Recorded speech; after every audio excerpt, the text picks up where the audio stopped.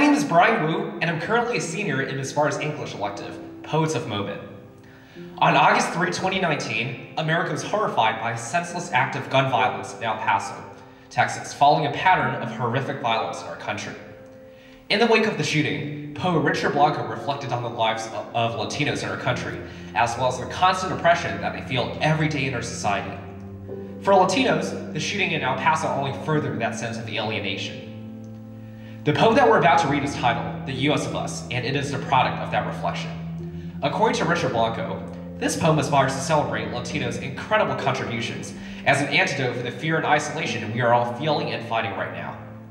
What better way to celebrate, uh, to conclude Hispanic Heritage Month than to celebrate Hispanic culture in the US of Us? We hope you will enjoy.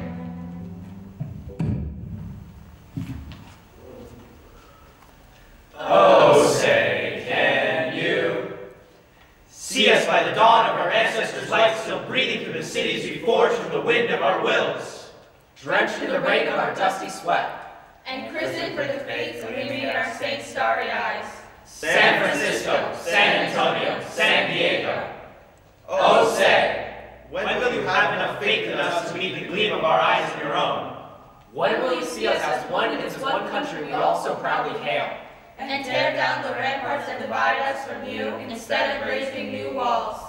Oh, say! When will you believe our hands across our hearts' unwavering belief in those broad stripes and bright stars waving in the same sky above our same schools, churches, and baseball fields? Oh, say! When will you untranslate us, unitalicize us from the lands and mountains our lives rooted and named? La Sierra Nevada, La Florida, Montana, Sangre de Cristo, Tejas, Nueva Mexico. When will you recognize the shared words of our shared history? Say, Rodeo and Bronco. Say, Patio and Plaza. Say, Bonanza and Canyon. Say that you hear our rivers gallantly streaming in Spanish. Rio Colorado, Rio Los Angeles, Rio Grande. when will you stop drowning us? trafficking us like cattle in trucks, corralling us in kitchen alleys and musty motel rooms, scarring our children's faces and behind striped shadows, iron bars. Rebranding our skin as rapists and murderers lurking behind you. When will our immigrant toil and struggling dreams not be your ploy for profit? When will you praise us as assets and allies? We will not live our worthy lives in fear and shame. We will not live our worthy lives in fear and shame. We will not live our worthy lives in fear and shame. Oh, say! Look at us. We're the determination in our dirt-creased hands harvesting lettuce. and the firm handshakes of our bearers bestowing keys to their cities. With the silent chopping of onions, you don't hear your dinner table.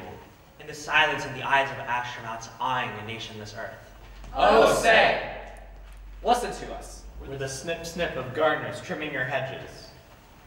And the rattle of our maracas playing on the radio. With the kind voices of bus drivers wishing you a buenos dias. And the pop voices of singers stirring you to dance into your bodies. We're the riveting of steel piercing cars together, and the beats of our poets pounding out lyrics. Oh, say!